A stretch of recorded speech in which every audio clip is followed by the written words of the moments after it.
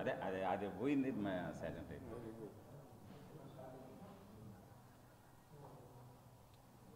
ఈరోజు జననేత జగన్మోహన్ రెడ్డి గారు ముఖ్యమంత్రి అయినప్పటి నుంచి కూడా ఈ నవరత్నాల ద్వారా ఈ కులము మతము పార్టీ అనకుండా విద్య దగ్గర నుంచి అన్ని రకాలైన ఆరోగ్య సదుపాయాలు కూడా చేస్తున్నారు మీకు అందరికీ కూడా తెలుసు. కానీ ఎక్కువగా పద్నాలుగు సంవత్సరాలు పరిపాలించాడు చంద్రబాబు నాయుడు గారు.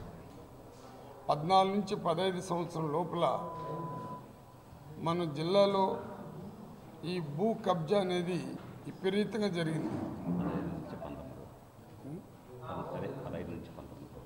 పూర్తిగా ఎట్ట జరిగిందంటే చాలా ఆశ్చర్యకరమైన విషయాలంతా కూడా బయట వస్తున్నది ప్రజలే కాకుండా జగన్మోహన్ రెడ్డి గారికి చాలా ఫిర్యాదులు పోవటం దానిపైన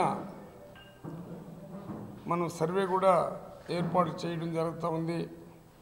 సిబిసిఐడి కూడా సర్వే చేసి రెండు వేల మూడు వందల ఇరవై ఆరు పాయింట్ నాలుగు ఎకరాలు టీడీపీ నాయకుల ద్వారా అక్రమణ ద్వారా రికవరీ కూడా చేయడం జరిగింది.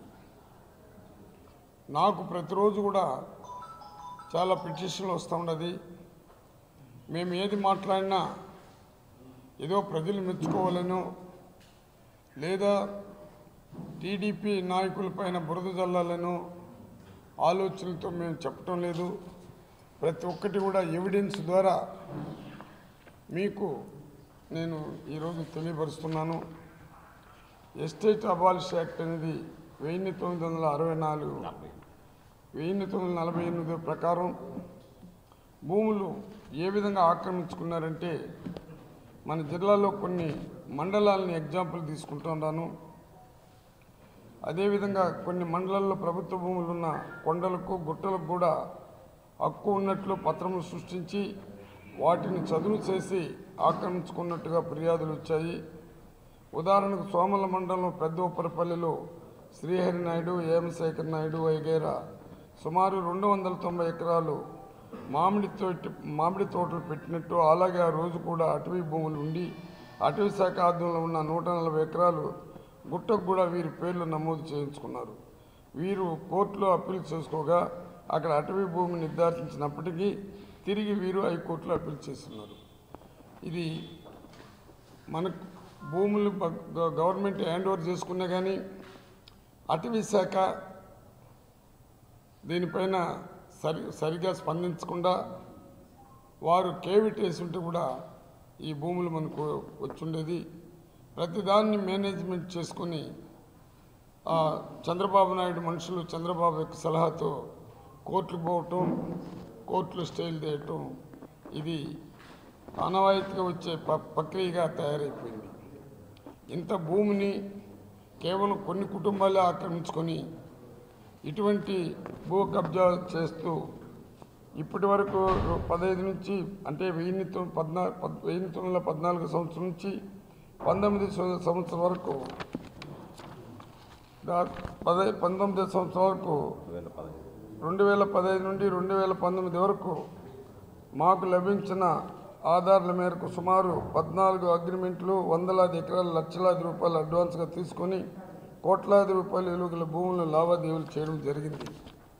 ఇందులో ఉదాహరణకి జయశంకర్ మాపాక్షి సుధాకర్ చౌదరి బెంగళూరు టి గౌరీ శంకర్ రామకృష్ణ నాయుడు పిచ్చటూరు కె రామచంద్ర నాయుడు మల్లం వైగర చాలా మండలాల్లో ప్రభుత్వ భూములను తక్కువ ధరకే కొనుగోలు నిమిత్తం అగ్రిమెంట్ చేసుకున్నట్లు సమాచారం ఉంది. దీనిపైన కూడా పూర్తిగా సర్వే చేసి ఎట్టటి వాళ్ళైనా కానీ ఎంతటి గొప్పవారైనా కానీ భూముల్ని ప్రభుత్వం హ్యాండ్ ఓవర్ చేసుకుని వాళ్ళపైన క్రిమినల్ కేసులు పెట్టి చట్టరీత్యా చర్యలు తీసుకునే కార్యక్రమాలు కూడా మొదలుపెట్టినాము. దీనికి ఉదాహరణగా పుల్ల రమణ అడవి రమణ అని టీడీపీ లీడరు చారాల గ్రామం చౌడేపల్లి వారు సత్యవేడు ఏర్పేడు మండలంలో ప్రభుత్వ భూములను ఆన్లైన్లో వివరాలు నమోదు చేయిస్తానని ఇరవై నాలుగు పది రెండు వేల పద్దెనిమిదిలో యాభై ఐదు లక్షల అరవై ఏడు రూపాయలకు బోగస్ రికార్డులు కలిగి ఉన్న వారితో అగ్రిమెంట్లు కుదుర్చుకోవడం జరిగింది. దీనిపైన కూడా సమగ్రగా విచారణ చేపట్టే కార్యక్రమాలు కూడా జ- మన జగన్మోహన్ రెడ్డి ముఖ్యమంత్రి గారు ఆదేశాల ప్రకారం వీటిపైన కూడా ఎంక్వైరీ చేయడం జరుగుతుంది ఇదే అడవి రమణ భోగశ్రీ గారు తయారు చేసి గణేష్ పిల్లతో కుమ్మక్కై ఇది పేపర్లో కూడా వచ్చింది మీకు అందరూ కూడా తెలుసు. ఆవులపల్లి గ్రామంలో సర్వే నెంబర్ ఆరులో ఎనిమిది వందల పంతొమ్మిది పాయింట్ డెబ్బై రెండు ఎకరాలు అటవీ శాఖ ఆధీనంలో ఉన్న అటవీ భూమిని ఫారెస్ట్ సెటిల్మెంట్ అధికారి చిత్తూరు వారి వద్ద ఉన్న కేసుల్లో రెస్పాండెంట్గా చేరి తెలుగుదేశం ప్రభుత్వ హయాంలో అధికారాన్ని ఉపయోగించి కాజాయాన్ని ప్రయత్నించగా సదరు భూమిని ప్రభుత్వ హయాంలో పదమూడు ఎనిమిది. మన ప్రభుత్వ హయాంలో పదమూడు ఎనిమిది ఇరవై ఇరవై ఒకటి తేదీ అటవీ శాఖ భూమిని నిర్దర్శనం జరిగింది.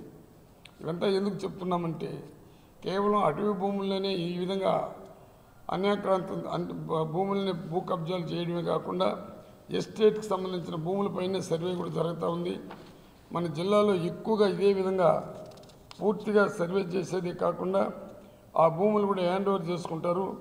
కానీ పద్నాలుగు సంవత్సరాలు ముఖ్యమంత్రిగా ఉన్న చంద్రబాబు నాయుడు అండతో ఇటువంటి కార్యక్రమాలంతా కూడా జరగడం ఈరోజు వీటిపైన ఆధారాలతో కూడా మీకు సబ్మిట్ చేస్తున్నాము. ఇదే విధంగా మన జిల్లాలో దాదాపు పదహైదు వేల ఎకరాల పైన భూ కబ్జాలు కూడా బయట వచ్చే కార్యక్రమాలు జరుగుతుంది ఎక్కడ భూ కబ్జాలు స్టార్ట్ అయినా ఇంతకుముందు పదహైదు నుంచి పంతొమ్మిది సంవత్సరంలో జరిగిన వాటన్నిటి కూడా తెలుగుదేశం నాయకులు చేతికి పోవటం అది ఇప్పుడు గవర్నమెంట్ హ్యాండ్ ఓవర్ చేసుకున్న కానీ స్టేట్ రూపంలో వారి వద్ద ఉండే కార్యక్రమాలు కూడా జరుగుతూ ఉంది ఇదే విధంగా సుమారు పదహైదు వేల ఎకరముల వరకు అటవీ భూములు అన్యాక్రాంతం చేసినట్లు కూడా మనకు ఎవిడెన్స్తో కూడా మీకు చూపిస్తున్నాము